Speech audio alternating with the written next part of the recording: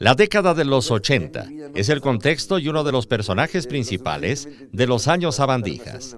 La nueva novela de Javier Velasco, quien a través de su hilarante y sarcástica narración trae a la palestra actual lo más emblemático de esa época.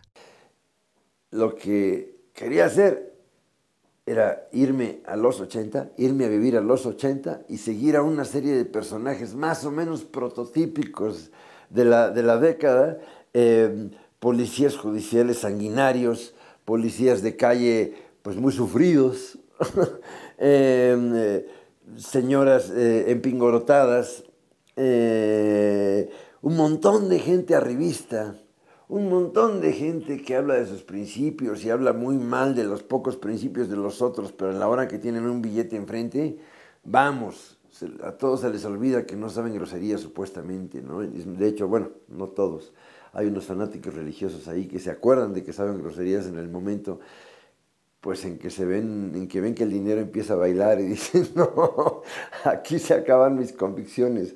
Velasco indicó que el relato lo encabezan dos malandros inmunes al escrúpulo, que en su andar por la vida se topan con personajes urbanos disímbolos y extravagantes. Una década así de farolona, em, y mis personajes pues son un par de perdedores, un par de ratas eh, con, poca, con poco futuro y poca perspectiva, y, sin embargo son ingeniosos. Básicamente es un puñado de historias de los 80 que entre todas hacen una.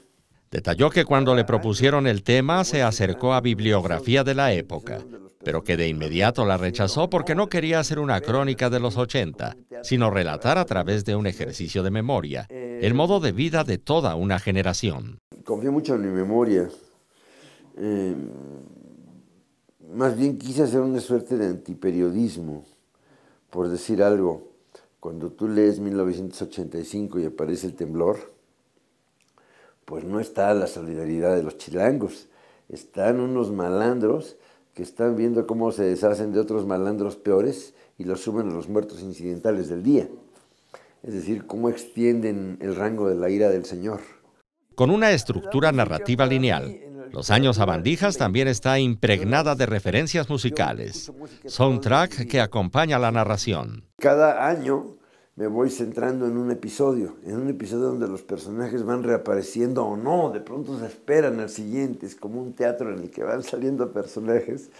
Em, es como el gran teatro de los años 80, para mí yo lo veo así.